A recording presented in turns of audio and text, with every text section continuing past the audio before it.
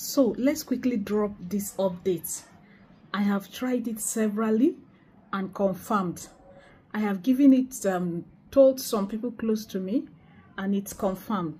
So i said why not share it with my people? Welcome. This is shea butter original shea butter. Get um either salt or sugar or honey mix it with it. Mix it with it. Just mix them. Now this is how it goes. You can um, get your shea butter. Mix it with salt. A little. I will explain them the three methods. Mix it with salt a little.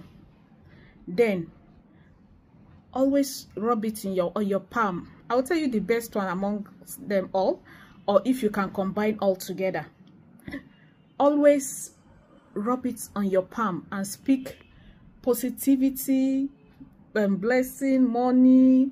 Is basically for attraction money attraction and all that.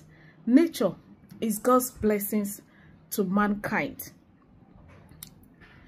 Or you get shea butter as sugar. Yes the normal sugar grinded sugar cube sugar regular sugar and pieces it mix it with the um, shea butter. You apply it on your palm also. Or you get honey make sure it's original honey. Same with the shea butter make sure it's original. Make sure it's not mixed with um, anything butter or whatever they mix it with.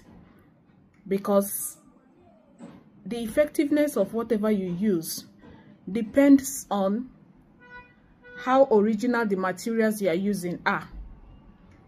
Shea butter and honey mix it together. Rub it on your palm speak goodness money blessings and all that.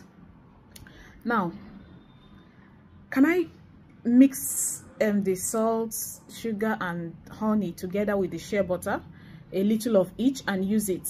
That's perfect. But make sure that the honey you are using is original honey. That's another thing okay Chizzy you are emphasizing on original honey original shea butter.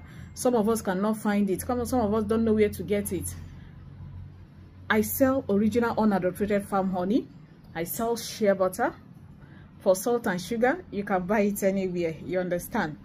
Now you can mix these three items and um, the four items sugar salt honey and shea butter together and use it the same way applying it on your palm in the morning. Trust me this is excellent. It works. It's very good. Simple but very effective. Try it and come back and say Chizzy.